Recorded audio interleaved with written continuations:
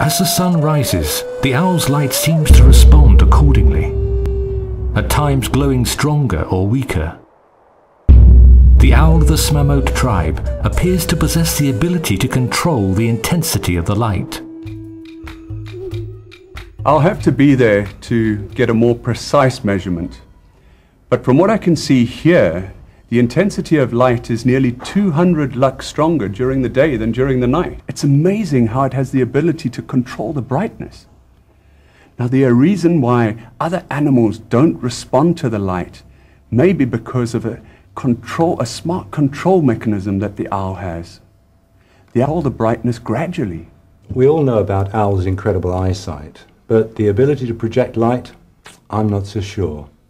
This would be a brand new species, something very rare indeed. From the material I was shown, it seems that the tribesmen try and protect the owl's cornea during the daylight by putting a hat on it. This would suggest that the owls are even able to project their light during the day. If we could extensively study this mystical owl, we might be able to uncover the secret behind its light. But in the process, we may disrupt the tribe's way of life.